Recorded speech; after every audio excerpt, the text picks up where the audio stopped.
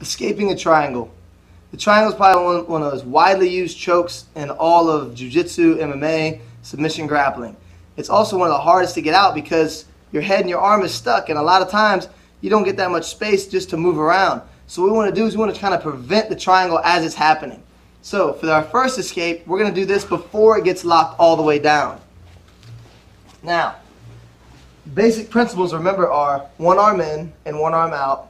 You're going to get triangled. So remember, we need two arms in at all times or two arms out. So if I give JT that chance and he does shoot for that triangle, I've got to be ready for what to do as far as how to escape.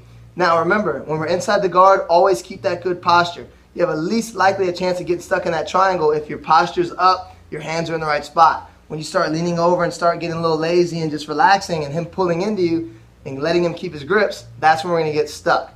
So we're going to deal with JT just shooting his legs up and just locking real quick and getting that basic first lock without getting all the way down just yet.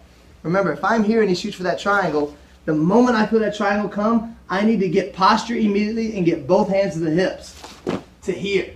Because remember, I don't want to start looking down and coming down here, and I definitely don't want to try to stand up with my head being pulled down. If I do like this, now it's all him pulling me down. All my escape will be gone. I need to look to the ceiling to get out of here not looking down to the ground. So as soon as that triangle comes, our hands are on the hips, we're getting good posture, and I'm gonna push to the floor as I make myself as big as possible. Here, once we have popped that triangle open, then we can start our pass, whether it be the double under, be an over under that we worked, or maybe just backing all the way out and going to one of the standing passes we did earlier. So watch again as JT shoots the triangle, and I'm gonna grab the hips and get that good posture.